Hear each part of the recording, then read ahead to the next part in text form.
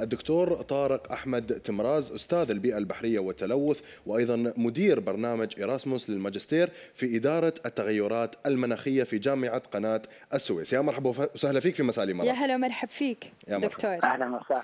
أهلاً بداية. دكتور يعني شو سبب ظهور اليوم أسماك القرش وأيضا الحيتان في مناطق قريبة من الشاطئ في هذه الفترة؟ يعني مثل الإسكندرية والحادثة اللي شفناها والغردقة أيضا في مصر وأيضا حتى ليبيا واليمن.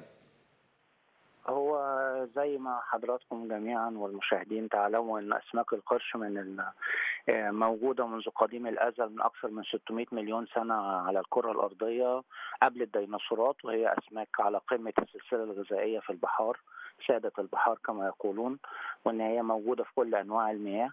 ولكن بيجي في موسم من شهر مايو وشهر يونيو أو بيبقى ده موسم للتكاثر في المنطقة المحيطة بينا لأنه بيحصل له شيفتنج أو بيمتد قليلا آه، في المناطق الأخرى.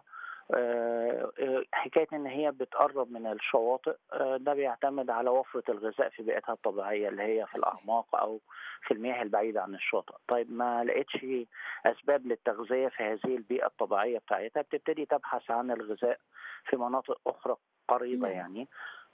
وده ال- السلوك المعتاد عليه. أو إن هي بتتجول في المنطقة من أجل التكاثر والبحث عن مكان مناسب للتكاثر. وده معروف في الحيتان الكبيرة زي الجريت وايت شارك إنه ممكن يسافر بمئات الكيلومترات يبحث عن آه، مكان مناسب للتكاثر. فالأوقات ديت مرتبطة بموسم التزاوج طيب. عندها دكتور طارق ذكرت الآن بأن وجود أسماك القرش في البحر المتوسط خلال هذه الفترة هو أمر طبيعي للتزاوج والبحث عن طعام. صحيح؟ آه بالظبط أنا بقول الأسباب العامة مش مش خاصة للكيس طيب اسكندرية. شو الأسباب؟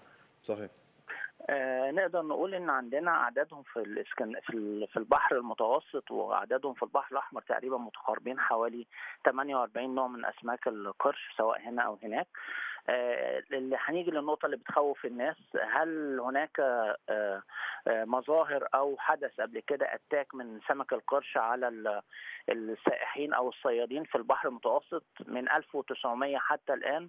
عدد قليل جدا من الهجمات حوالي 50 هجمة آه، بالمصادفة عدد منهم حوالي عشر آه، وفيات نعم. طول المئة عام الماضية. فبالتالي آه، مفيش حاجة تدعو للقلق. آه، بالنسبة على الصور اللي إحنا شفناها على اسكندرية ده نوع آه، صغير. آه، الراجل الصياد مصطاده من المياه العميقة مش من المياه القريبة. يعني هو ما جاش إلى الشاطئ. الصور المتداولة عبر الإنترنت يعني هذا ما يمثل أي خطورة حتى لو كبر مثلا؟ لا يا فندم هو مش هيكبر هو بيدور آه. على غذائه فهيدور على غذائه في أماكن تانية هو مش ثابت في نفس المكان. وليس على الشاطئ مثل ما ذكرت. آه بالظبط كده يعني نقلق زي مثلا في حادثة آه، آه، الغردقة إن في. سمكة كبيرة موجودة على الشاطئ سمكة سمكة كبيرة بل وممكن تفترس إنسان أو تهاجمه ده يدعو للقلق صحيح. إنما في الحادثة دي دي سمكة مصطادها من آه، من المياه العميقة على بعد زي ما بيقولوا 3 كيلو ونص. أو أكثر فلا تمثل أي خطورة بالتالي. أكيد. أكيد. آه، فعلا. دكتور. دكتور تفضل. تفضلي أنا دكتور عندي سؤال يعني أنت نفس ما ذكرت أن آه، اليوم الأسماك هذه يعني أسماك القرش في فترة تزاوج نفس ما أنت ذكرت. فبالتالي آه، يعني يمكن أنها تمتد وتقترب أكثر إلى الشواطئ. فهل اليوم يعني فترة التزاوج هذه تمثل خطرا على السياح أو مرتادي البحار؟ آه، بالطبع لا يا فندم. هو إحنا يعني نتكلم كلام علمي. هو إحنا اللي بنأذي سمكة القرش. الصور اللي أنا تداولتها مع حضرتك على اللي بيحدث في كميات أسماك القرش اللي بيصطادها الإنسان في كل البلدان. آه، رهيبة جدا. آه، إحنا الأيام اللي فاتت الأسبوع الماضي في الدنمارك في جزر فارو آه، عندهم تقليد آه، بيتبعوه كل عام إن هم بي- بي- بيقتلوا أعداد كبيرة من الدرافيل وال- والحيتان على نعم. الشاطئ. ففعلا آه وحاجة مجزرة بشعة. فإحنا بال- بالتالي إحنا بنقول ما فيش حاجة تدعو للقلق بالنسبة صحيح. للمصطفين أو ال ال ال الصيادين. ولكن إحنا يجب علينا إحنا كإنسان إن إحنا نحافظ على تعاملنا مع البيئة البحرية نقلل من الصيد الجائر علشان الأسماك تلاقي آه، أسماك اللي هي الكبيرة زي القرش تلاقي الأسماك الطبيعية اللي بتتغذى عليها.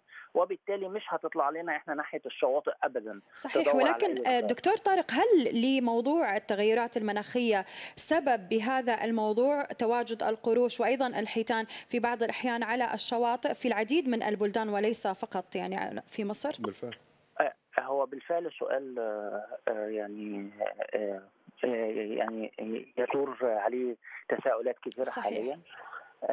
فعلا هو بعض الدراسات وآخرها في دراسة من الأمم المتحدة بتقول إن ممكن من إن آه، التغيرات المناخية هتأثر على البيئة، البيئة اللي إحنا صحيح. كلنا بنعيش فيها اللي هي البيئة المناسبة لنا ارتفاع درجة الحرارة أو زي نعم. ما إحنا نعم. بنقول في أيام مطيرة أو توافر الغذاء فبتخلي الكائن يبتدي يبحث عن غذاء مناسب أو بيئة مناسبة في أماكن أخرى ونتج عنها ظاهرة اسمها الهجرة للشمال. فزي ما حضرتك بتقولي كده تبتدي الكائنات يمتد آه، نطاق تواجدها لمسافات أكبر ما نعم. كانتش بيتم رصدها فيها وتروح لأماكن أخرى كثيرة فممكن فعلا إن هي تؤثر بالفعل على أماكن تواجد ال- ال- الاسماك القرش أكيد. الله يبعد علينا دائما وابدا يعني آمين. هذه المخاطر أكيد دائما وابدا وما نشوف أكيد نفس هذه آمين. الحوادث دكتور طارق أحمد تمراز أستاذ البيئة البحرية وأيضا التلوث كل الشكر الجزيل لك على يعطيك مداخلتك معنا